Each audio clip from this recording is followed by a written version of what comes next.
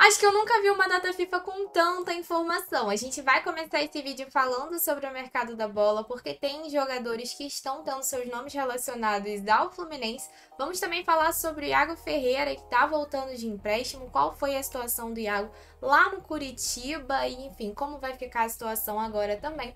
Vamos falar sobre a definição de arbitragem, tem troféu aí novo exibido aí para o Super Mundial de Clubes. Vamos falar também sobre o John Arias, porque voltou a ser assunto, mas nesse termo eu vou ser bem breve e falar sobre SAF para finalizar. Então vem comigo para mais uma atualização da tarde. Meu nome é Julia Cunha e esse é Dominado pelo Flu.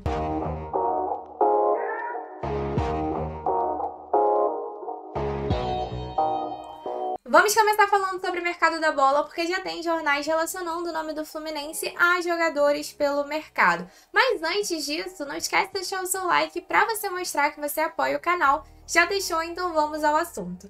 O nome que foi mencionado dessa vez foi o nome do Esli Garcia, atacante do Paysandu. Segundo Diego Beckman, da CBN Belém, Fluminense teria feito uma sondagem ao jogador. Então não se trata de negociação, coisa do tipo, apenas uma sondagem. Mas até sobre a situação dele no Papão, segundo o GE, ele está no Paysandu por empréstimo e para permanecer no Paysandu, o Papão teria que exercer a opção de compra no valor de 300 mil dólares, o que dá cerca de 1,7 milhão de reais. A situação dele está para ser definida nesses últimos dias. É um jogador que lá foi importante, em 29 jogos pelo Papão, fez 8 gols, inclusive fez o gol que garantiu a permanência do Paysandu na Série B. E até para a gente saber um pouco mais sobre ele, fui dar uma olhada tanto no Transfer marketing como no SofaScore.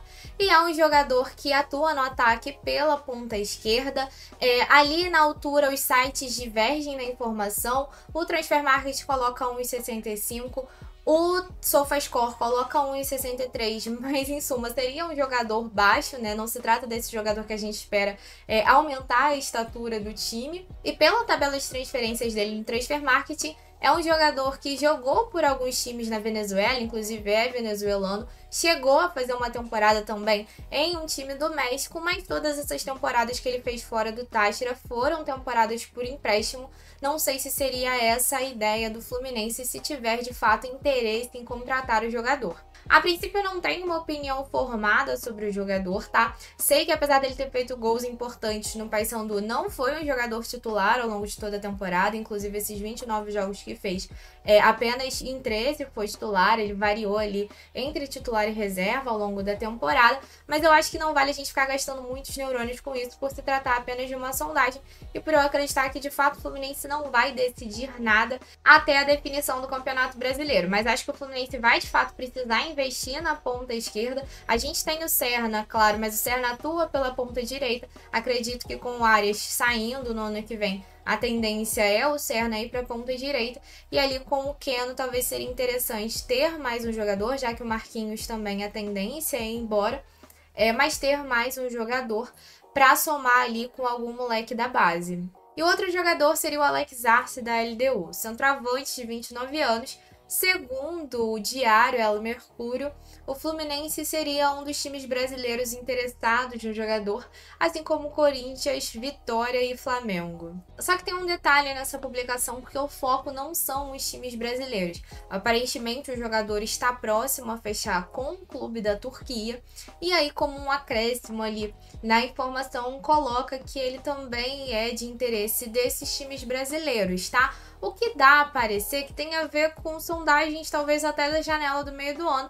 O Alex Arce já teve o nome sondado de fato pelo Fluminense, aparentemente não é nada de agora, mas sim seria um jogador com um histórico mais interessante. E aí, para falar sobre a apuração de jornalistas que a gente conhece, eu acho que durante esse período em que não termina o fim do Campeonato Brasileiro, vai ser um pouco difícil ter esse tipo de informação, porque vai depender da informação vazar, né? Porque a postura do Fluminense é de que não vai tratar nem de renovações, nem de contratações enquanto não terminar, enquanto não se definir a nossa situação dentro do Campeonato Brasileiro mas acredito sim que nomes estejam sendo sondados. Mais para frente a gente deve talvez ter a certeza de fato de quem estará nesses planos para 2025. Mas deixa aí nos comentários, na sua opinião, quais setores o Fluminense deve investir para o ano que vem, se você tem nomes que gostaria de ver por aqui.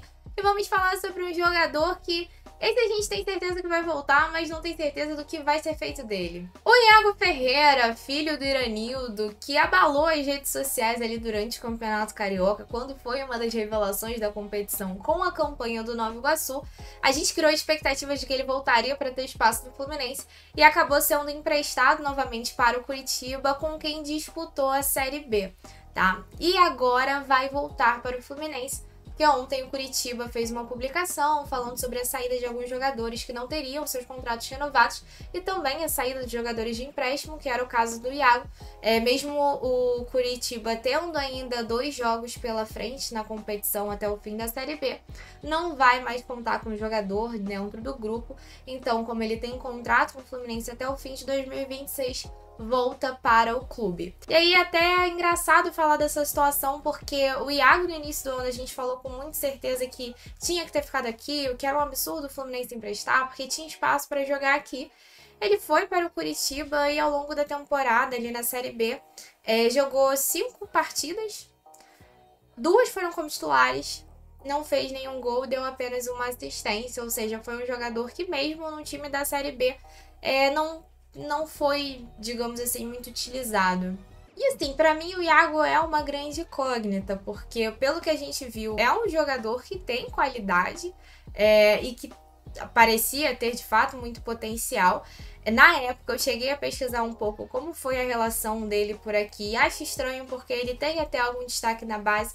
Quando sobe para é, pra treinar no profissional, chega a ser elogiado pelo Fernando Diniz, mas não chega a ter oportunidade, já é emprestado para o Nova Iguaçu. Volta sem ter oportunidade, já sendo emprestado pela temporada é, da Série B ali com o, o Curitiba, então não parece estar nos planos do Fluminense. Já achava estranha essa relação no período, é, até porque durante, vocês vão lembrar também que o Iranildo é, vai em podcast, joga, não joga nem direta, né? Joga direta mesmo, é, meio que culpando o Fluminense pelo filho dele. Basicamente, basicamente ele quase define que o filho dele é um craque, que o Fluminense não, dá, não quer dar espaço para ele, mas o contrato dele tá perto de acabar e tal. Então, assim, eu acho que ali nessa relação ninguém é santo, mas para mim o jogador volta sendo uma incógnita porque é estranho talvez ele não ter tido espaço nenhum, é, mesmo disputando a Série B. Não sei o que vai ser feito dele por aqui, né? Parece que não tá muito nos planos do Fluminense, mas de repente com o Mano Menezes no comando, alguma coisa possa mudar, o Fluminense de repente teste ele no Campeonato Carioca. É cedo ainda para saber. Mas, é, sei lá, não sei o que, vocês acham, mas eu acho estranho, sabe? Um jogador que foi tão badalado ali no início da temporada não ter tido espaço, mesmo no time ali da Série B. E a gente não tá falando sobre, por exemplo, um Santos, um Ceará, um esporte que, tipo, estão brigando lá em cima, né? A gente tá falando sobre um time é, que hoje tem uma situação um pouco mais limitada, a situação do Coxa. E até fui dar uma confere ali na tabela para ver se não tava falando besteira, mas de fato, assim, o Coxa tá em décimo lugar na competição.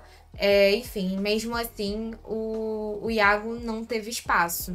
E vou juntar duas notícias rápidas aqui, que são duas definições. A CBF definiu que o árbitro para a partida entre Fluminense e Fortaleza será o Rafael Claus. A gente pode falar muita coisa sobre o Rafael Claus, mas é o que eu sempre falo. Nunca tem um árbitro que nos agrada, então, enfim. O caso é que é, de fato, mais um árbitro de São Paulo apitando o jogo do Fluminense. Coincidência? Não sei. Mas a outra definição foi por parte da FIFA. A FIFA definiu um novo troféu do novo Mundial de Clubes. O troféu é esse aqui. Achei diferente, bem interessante, bem bonito. Apesar de que eu achava a taça, a taça do. que hoje é intercontinental bem bonita, né? Mas fica aí para vocês. Deixem nos comentários, inclusive, se você gostou. Imagina, Fluminense, ano que vem, conquistando.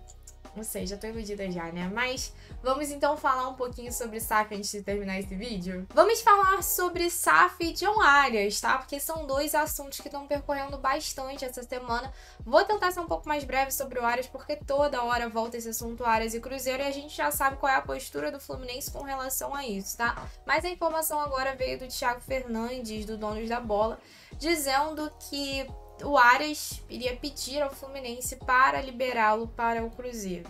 tá? Então, basicamente, como se tivesse tudo certo entre Ares e Cruzeiro, ele fosse pedir para o Mário Bittencourt facilitar essa saída, facilitar essa transferência. Como esse foi um assunto que surgiu ontem nos comentários do Giro do Jornada, durante a live, alguém tinha falado que essa era uma informação do Jorge Nicola, é, eu fui procurar no canal do Jorge Nicola e o que ele fala? Ele, na verdade, fala que essa informação é do Thiago Fernandes, é, mas diz que ainda que de fato o Arias tenha esse interesse, é difícil imaginar o Arias jogando em outro clube do futebol brasileiro porque o Mário Bittencourt, segundo ele, considera um crime negociar é um crime contra o torcedor do Fluminense negociar um ídolo do clube para um rival brasileiro, um rival local, né? E até quanto a isso, ele diz que talvez essa forçação possa ter uma estratégia para que o Arias seja liberado para a primeira proposta do exterior que surgir é, nessa janela agora do final do ano. Enfim, a gente já sabe que a postura do Fluminense é não negociar o Arias para nenhum outro clube do Brasil, então eu acredito que no que depender do Fluminense, o Arias não vai para o Cruzeiro, com o Fluminense permanecendo na Série A.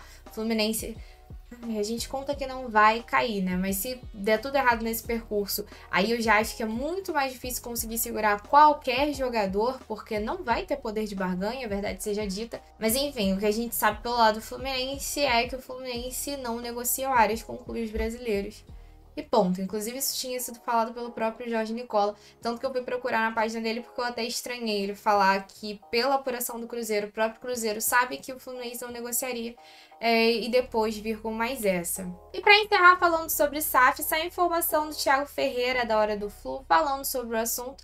É, segundo ele, ali, basicamente, é, o Fluminense criaria uma SAP em 2025, isso estaria basicamente certo.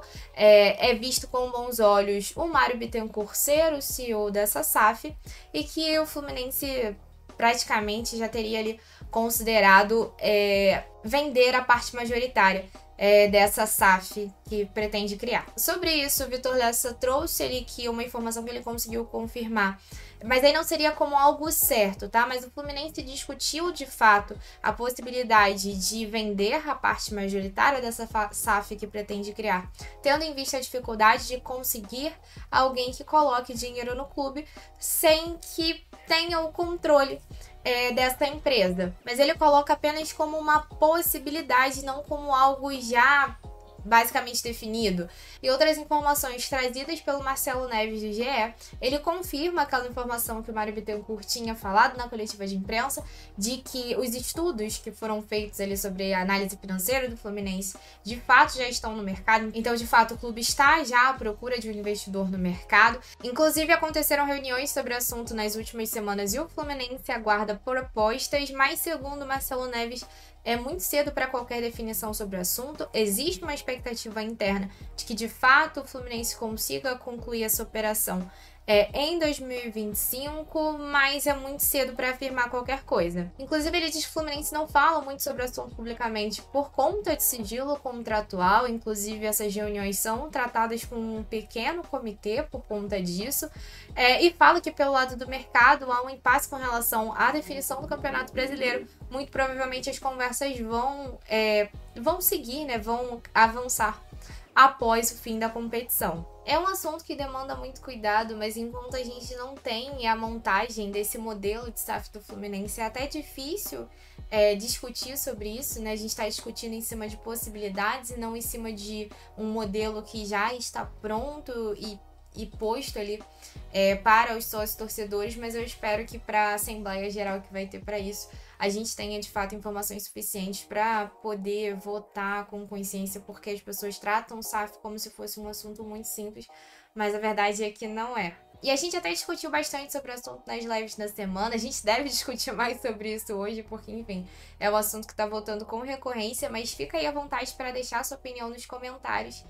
E eu te agradeço demais por ter assistido esse vídeo. Inclusive, se você quer participar da live de hoje, ela vai acontecer às 9 horas da noite. Espero por vocês. Um beijo no coração, saudações tricolores e até mais tarde.